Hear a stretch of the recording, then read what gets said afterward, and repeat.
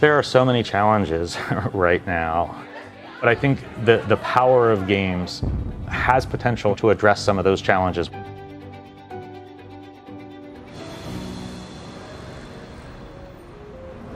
This is our first time at Game for Change, and we are here because our virtual reality experience Fightback has been selected. So we're super proud.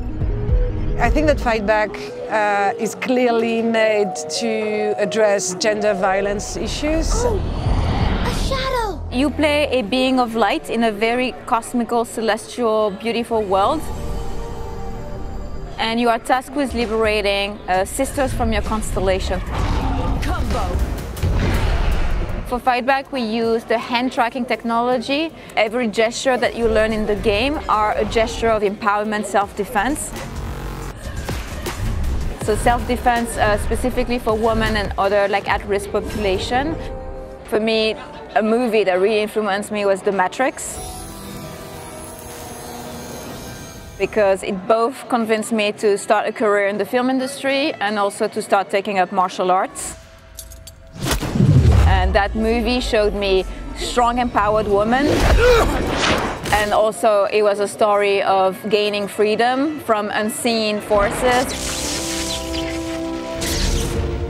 Get up. In 2017, I went to Iraq during the war and I made a documentary about a group of women who decided to join the army and fight against ISIS.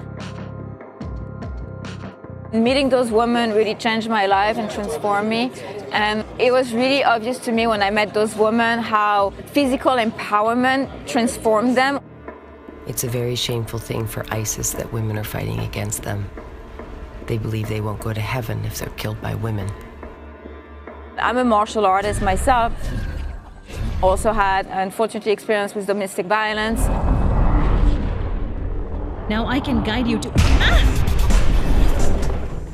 Like there is this beautiful knowledge that could help so many women, uh, and for some reason they don't have access to it, or they, more importantly, they don't think they can do it.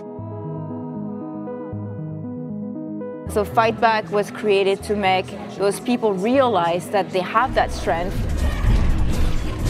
and that our bodies needs to be respected and they are beautiful and they are strong. Good job!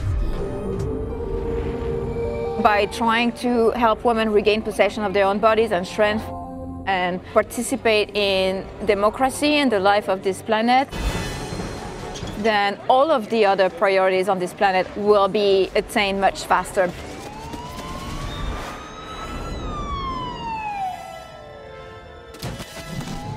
I can do it.